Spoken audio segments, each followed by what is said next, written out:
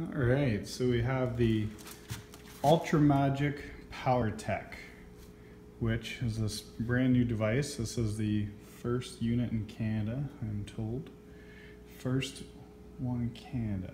And we are installing it in a Lindstrand 160 basket. I'm taking the tanks out.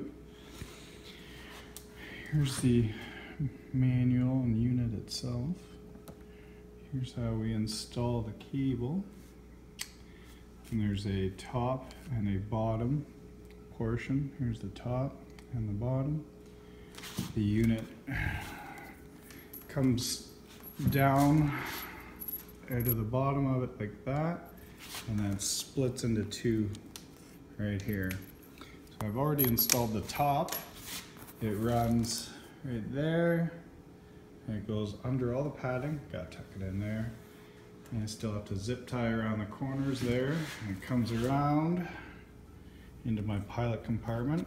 I just gotta go around this corner here.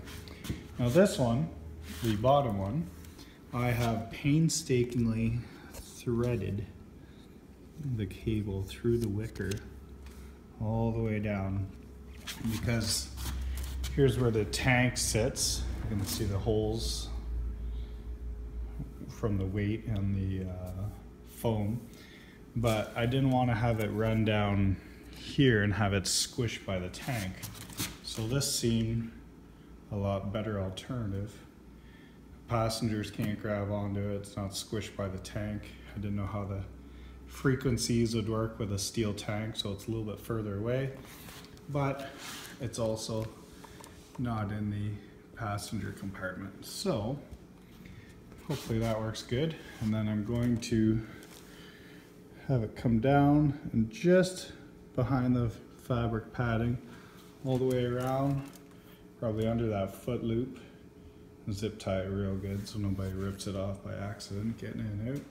And that's gonna go under that foot loop all the way around and through here. So, pretty excited to try this new thing out.